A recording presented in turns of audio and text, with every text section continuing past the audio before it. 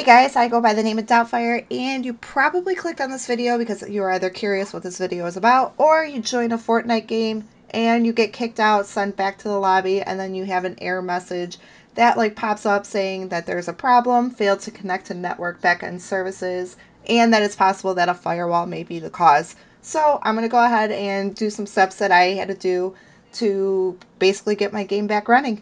And as always, if this video helped you out, please drop a like. If you want, hit the subscribe button. Do whatever your heart desires, and I'm going to go ahead and get started. So what you want to do first is go search up Notepad, open it up in your apps, and go ahead run it as an administrator. And right here my screen is black because it's just like prompting the question to confirm. So we have Notepad here, so you can either file open or hit Control and O. And then you are under Windows System 32, and you just want to scroll down to Drivers and then there's this folder called etc or etc. And so right here you can't see any files. So on the right over here, we're going to go ahead and look at all files.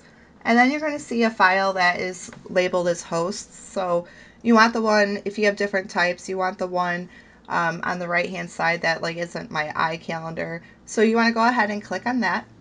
Go ahead and see like this little text box. All you want to do is just simply erase it and close out and then make sure you hit save the next step you could do is go type in like the search bar, look up Windows Defender Firewall, and then you're going to come up to this like screen where you want to go ahead, click over here, and then search up like Fortnite. Make sure you hit the change settings and just scroll down until you see Fortnite.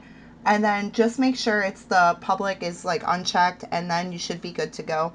Make sure you go ahead, restart your game anyways for all this to like take effect and then your game should be working and you'll be able to play Fortnite again. Like I said, this video helped you out. Please drop a like, hit the subscribe button, and we'll see you in the next one. Peace.